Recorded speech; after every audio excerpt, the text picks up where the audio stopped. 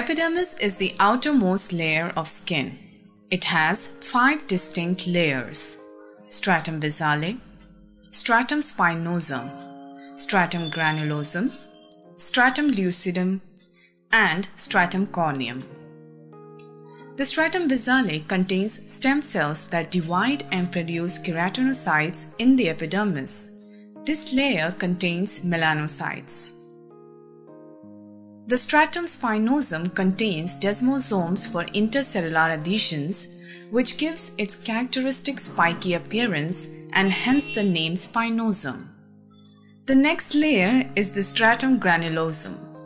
This layer derives its name from the granular cells which consist of keratohyalin granules that produce profilaggrin. It also contains lamellar granules that when secreted produces a waxy lipid substance which forms a barrier to prevent water loss. Stratum lucidum is a transparent layer packed with dead cells.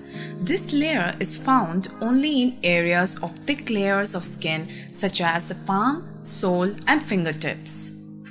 The final layer is the stratum corneum. This is the outermost layer of the epidermis. It contains 15 to 20 layers of dead keratin-filled cells with no nuclei and cell organelles. It forms a semi-permeable barrier and is shed continuously. Did you know which layer of the skin is known as the Malpighian layer of the skin? Please answer as comment.